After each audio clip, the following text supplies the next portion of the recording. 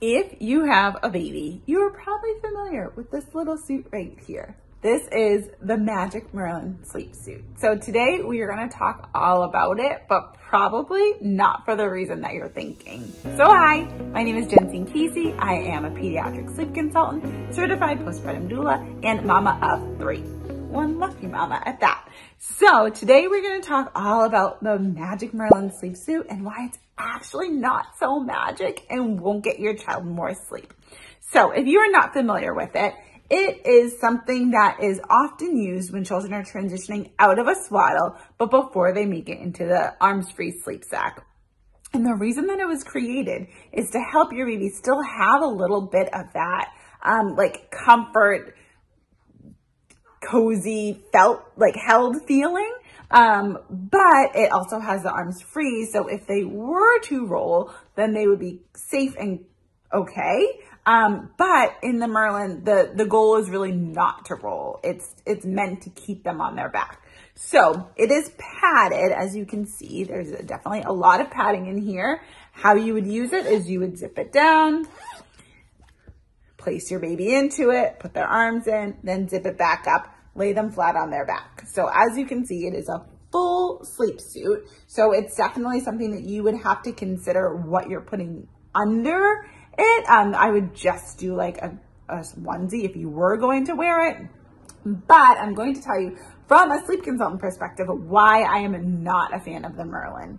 So as babies are growing and they are coming out of the swaddle, we want them to be able to start to develop some independent soothing skills. And that would be sucking on their hands, sucking on their thumb, their full fist, um, rubbing their face or their hair to be able to get to sleep, playing with a sleep sack or tags. Um, those are all things that we would want children to be able to start to develop so that when they are placed onto sleep, they have a method of self-soothing where they don't need an adult to be able to help them fall asleep. The problem that I have with the Magic Merlin is that the way that it's designed, they're not really able to do all of those self-soothing methods that I just recommended. So once they are placed in here on their back, because of the padding, it's really hard for them to bring their arms up and reach their hands to their mouth. It's really hard for them to move their legs. They cannot roll to their side to get into a more comfortable position. So it really leaves them just kind of stuck flat on their back. And I don't know about you, but I do not know a lot of people that just sleep flat on their back with their arms way out to the side. It may be comfortable for a couple of minutes, but eventually you're going to have to roll, to move, to readjust. And in the Merlin, they're just not able to do that. So while I have heard a lot of families find success in the Merlin, um, I personally would rather just make the jump into a traditional sleep sack so that they can get used to how to move their body, how to get comfortable on their own to be able to fall asleep.